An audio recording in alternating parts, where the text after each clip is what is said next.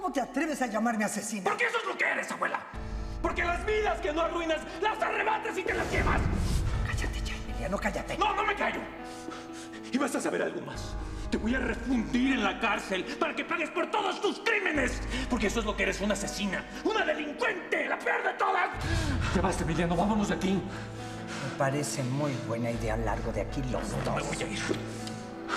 No me voy a ir hasta que escuches todo lo que tengo que decirte. Mi mamá nunca estuvo loca. Tú.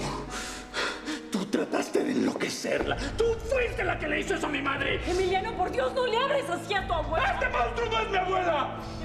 Me das vergüenza. Me das asco. No quiero llevar tu sangre. No quiero. No te atreves. Eres la persona más despreciable que he conocido en mi vida. Qué poco hombre eres, viniendo a gritarle así a una mujer como yo.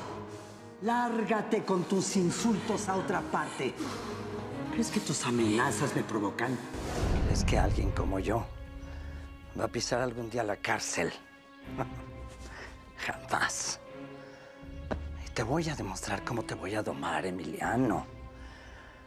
¿Cómo voy a hacer que te tragues todas y cada una de tus palabras? Sí.